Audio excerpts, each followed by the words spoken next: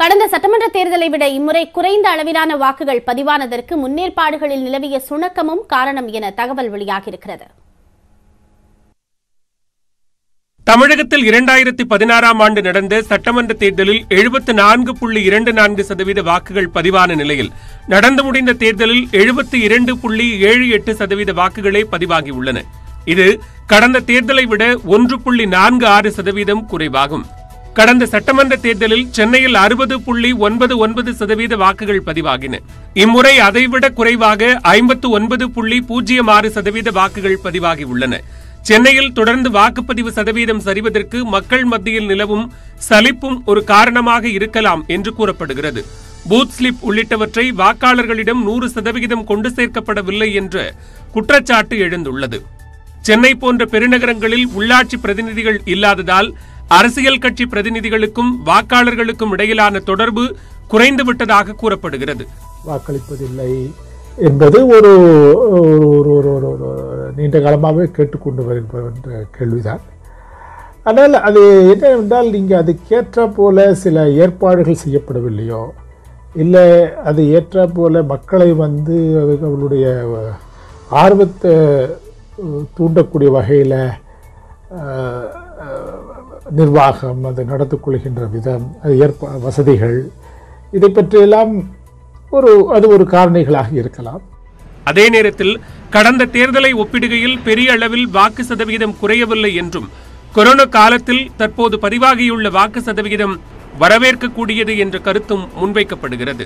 வாக்குப்பதிவு விகிதம் இரண்டு சதவீதம் குறைவு என்று தோன்றினாலும் வாக்கா சற்றேறக்குரிய அதே அளவில் வாக்காளர்கள் வாக்களித்திருக்கிறார்கள் என்றும் சொல்ல முடியும். ஒரு ஒரு விழுக்காடு குறைவு என்பது பெரிய விஷயமல்ல. வாக்குச்சாவடி எண்ணிக்கையை அதிகப்படுத்தியது கொரோனா தொற்றாளர்கள் வாக்களிக்க செய்யப்பட்ட சிறப்பு ஏற்பாடுகள் போன்ற தேர்தல் ஆணையத்தின் நடவடிக்கைகள் பாராட்டத்தக்கது என்றும் அரசியல் நோக்கர்கள் தெரிவிக்கின்றனர். தஞ்சை மாவட்டத்தில் ஒரு மளிகை கடையில் இரண்டாயிரம் ரூபாய் கிடைக்கும் என அரசியல் கட்சியினர் விநியோகித்த போலி டோக்கனால் உரிமையாளர் கடையை பூட்டிவிட்டு சென்றுவிட்டார். சம்பவத்தின் முழு பின்னணி என்ன? பார்க்கலாம்.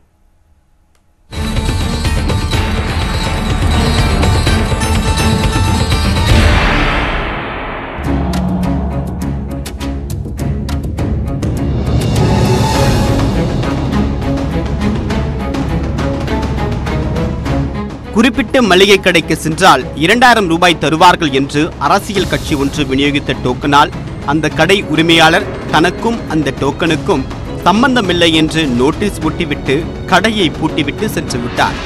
டோக்கன் விநியோகித்தவர்கள் யார்?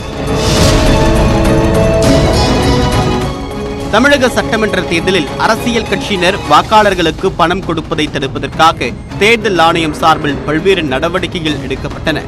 அதன் விளைவாக வாக்காளர்களுக்கு பணம் கொடுப்பது ஓரளவு கட்டுப்படுத்தப்பட்டது. இருந்தும் ஒரு சில இடங்களில் பாதுகாப்பையும் மீறி வாக்காளர்களுக்கு பணப்பட்டுவாடா அரங்கேறியது. தஞ்சாவூர் மாவட்டம் கும்பகோணம் பெரிய கடை தெரு பாட்டாச்சாரியார் தெருவில் ஷேக் முகமது என்பவர் பிரியம் மளிகை ஏஜென்சி என்ற கடையை நடத்தி வருகிறார். புதன்கிழமை காலையில் கடை திறந்தவுடன் அதிக அளவில் பொதுமக்கள் குவிய தொடங்கினர். பொருட்கள் வாங்கத்தான் மக்கள் வந்துள்ளார்களோ என்று கடை உரிமையாளர் நினைத்தபோது அதிர்ச்சி காத்திருந்தது.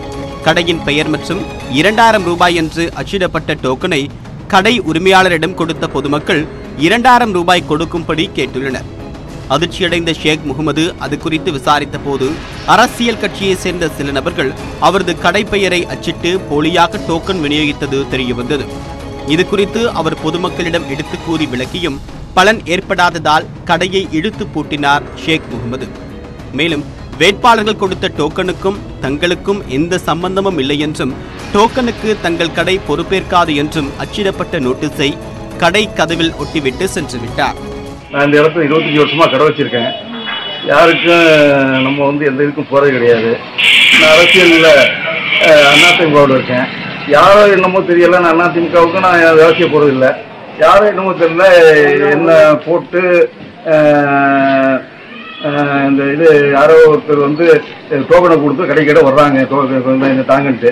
எனக்கு ஒன்றும் தெரியாம நான் மேலே வந்து அந்த ஸ்டிக்கர் அடிச்சு எனக்கு சம்மந்தம் இல்லை எங்களுக்கு அப்படின்னு அடிச்சு விட்டுருக்கேன் வாக்குகளுக்கு பணம் வாங்க மாட்டோம் என்று விழிப்புணர்வு பிரச்சாரங்கள் நடந்து கொண்டிருந்த நிலையில் கடையின் பெயரை அச்சிட்டு வழங்கப்பட்ட போலி டோக்கனால் கும்பகோணத்தில் பரபரப்பு ஏற்பட்டுள்ளது.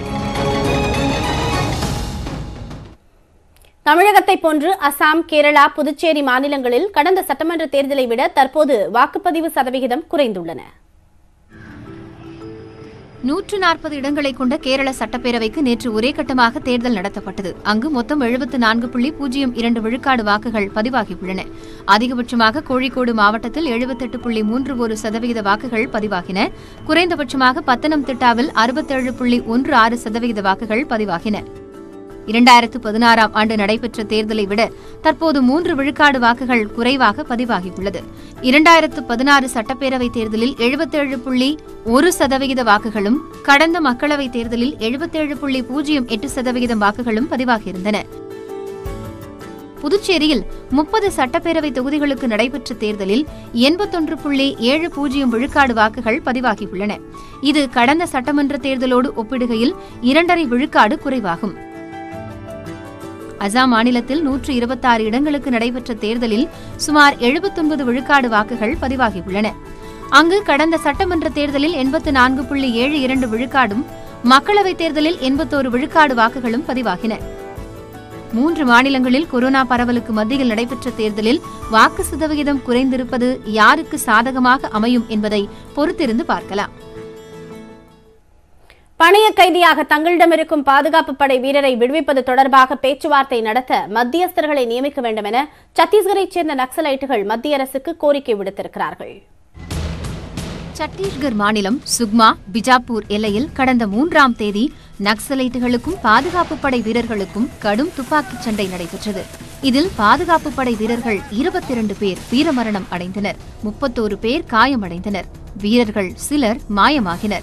இந்நிலையில் சிஆர்பிஎஃப்பின் கோப்ரா பட்டாலியன் பிரிவைச் சேர்ந்த காவலர் ராகேஷ்வர் சிங் மனாஸ் தங்களது வசம் இருப்பதாக கூறி அவரது புகைப்படத்தை நக்சலைட்டுகள் வெளியிட்டுள்ளனர். தடை செய்யப்பட்ட இயக்கமான இந்திய கம்யூனிஸ்ட் மாவோயிஸ்ட் இயக்கத்தின் பெயரில் கடிதம் ஒன்றை வெளியிட்டுள்ள நக்சலைட்டுகள் மத்திய அரசுடன் பேச்சுவார்த்தை நடத்த தயார் என்றும் பாதுகாப்பு படை வீரரை விடுவிப்பது தொடர்பாக தங்களிடம் பேச்சுவார்த்தை நடத்த மத்தியஸ்தரை நியமிக்க வேண்டும் என்றும் வலியுறுத்தியுள்ளனர். பேச்சுவார்த்தைக்கு பிறகு பாதுகாப்பு படை வீரரை விடுவிக்க தயாராக இருப்பதாகவும் காவல்துறையினர் தங்களுக்கு எதிரி அல்ல என்றும் நக்சலைட்டுகள் தெரிவித்துள்ளனர். பாதுகாப்பு படை வீரர்களுடன் நடந்த துப்பாக்கிச் சண்டையில் தங்களது தரப்பில் நான்கு பேர் உயிரிழந்ததாகவும் நக்சலைட்டுகள் கடிதத்தில் குறிப்பிட்டுள்ளனர். நக்சலைட்டுகள் பெயரில் வெளியான கடிதத்தின் உண்மைத்தன்மையை ஆராய்ந்து வருவதாக சத்தீஸ்கர் மாநில காவல்துறை உயரதிகாரிகள் தெரிவித்துள்ளனர். மாவோயிஸ்டுகள் நடமாட்டம் குறித்து உள்ளூர் மக்கள் தெரிவிக்காததே இந்த தாக்குதலுக்கு முக்கிய காரணம் என காவல்துறை வட்டாரங்கள் கூறுகின்றன. மற்ற செய்திகள் இந்தியாவின் கோடீஸ்வரர்களின் பட்டியலில் முகேஷ் அம்பானி தொடர்ந்து முதலிடத்தில் நீடிக்கிறார். சீனாவின் ஜாக் மாவை பின்னுக்கு தள்ளி ஆசியாவின் மிகப்பெரும் பணக்காரர் என்ற பெருமையையும் அம்பானி பெற்றிருக்கிறார்.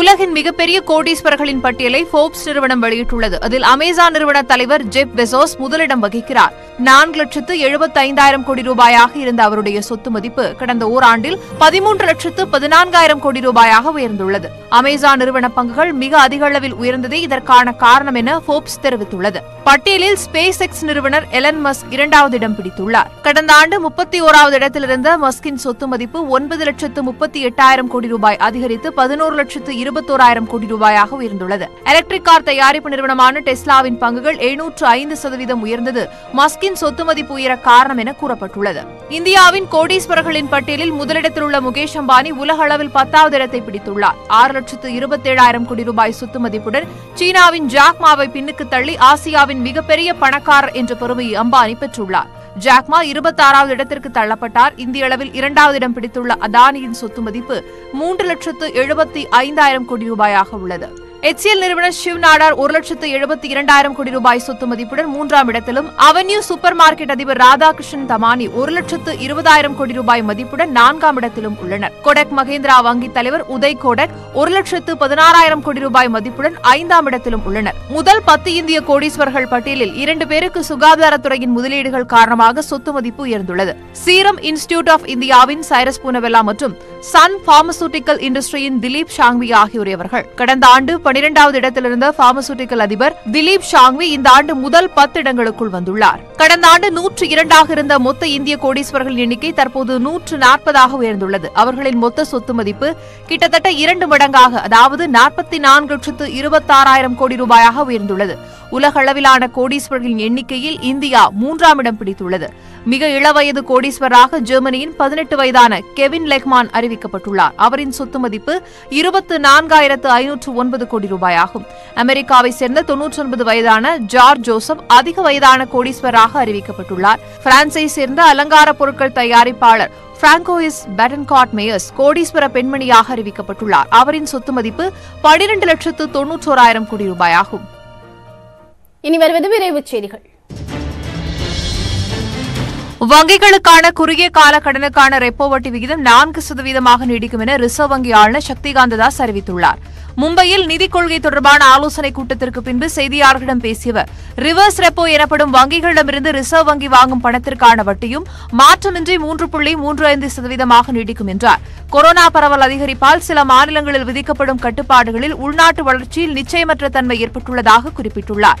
அதே சமயம் நடப்பு நிதியாண்டின் ஜிடிபி வளர்ச்சி ஏற்கனவே நிர்ணயித்தபடி பத்து புள்ளி ஐந்து சதவீதமாக தக்க வைக்கப்படும் எனவும் சக்திகாந்த தாஸ் நம்பிக்கை தெரிவித்துள்ளார். இரண்டாயிரத்து இருபது இருபத்தொன்று நிதியாண்டில் இந்திய பொருளாதார வளர்ச்சி பனிரெண்டு புள்ளி ஐந்து சதவீதமாக இருக்கும் என சர்வதேச செலாவணி நிதியம் கடித்துள்ளது. உலக பொருளாதாரம் குறித்த அறிக்கையை ஐஎம்எஃப் எனப்படும் சர்வதேச செலாவணி நிதியம் வெளியிட்டுள்ளது. அதில் உலக அளவில் இந்தியாதான் மிக வேகமான வளர்ச்சியை கொண்டிருப்பதாக தெரிவித்துள்ளது. மொத்த உள்நாட்டு உற்பத்தியில் இந்தியா முன்னிலை வகிப்பதாகவும் கடந்த நிதியாண்டில் வளர்ச்சி பனிரெண்டு புள்ளி ஐந்து சதவீதமாக இருக்கும் என சுட்டிக்காட்டியுள்ளது.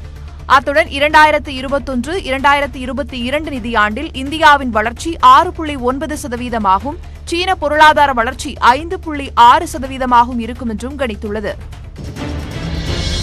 தமிழக சட்டப்பேரவை தேர்தலில் தன்னோடு கைகோர்த்து களம் கண்ட கட்சி நிர்வாகிகள் தோழமை கட்சி உறுப்பினர்கள் சக போட்டியாளர்கள் வாக்காளர்கள் மற்றும் ஊடகவியலாளர்கள் உள்ளிட்டோருக்கு மக்கள் நீதி மய்யம் கட்சியின் தலைவர் கமல்ஹாசன் நன்றி தெரிவித்துள்ளார். இதுகுறித்து அவர் வெளியிட்டிருக்கக்கூடிய அறிக்கையில் பெருந்தொற்று காலத்திலும் எழுபத்தி இரண்டு சதவீத வாக்காளர்கள் தங்களுடைய கடமையை ஆற்றியிருப்பது ஜனநாயகத்தின் மீது மக்களுக்கு இருக்கக்கூடிய நம்பிக்கையை காட்டுவதாகவும் குறிப்பிட்டுள்ளார். தேர்தல் என்பது முடிவல்ல என்று குறிப்பிட்டுள்ள அவர் தன்னை பொறுத்தவரை இந்த தேர்தல் ஒரு புதிய தொடக்கம் என்றும் கூறியுள்ளார். மண்ணை மொழியை மக்களை காக்க இன்று போல் என்றும் களத்தில் நிற்போம் என்றும் கமல்ஹாசன் தெரிவித்துள்ளார். மேலும் அண்மை செய்திகளுக்கு தொடர்ந்து பாருங்கள் நியூஸ் எயிட்டின் தமிழ்நாடு.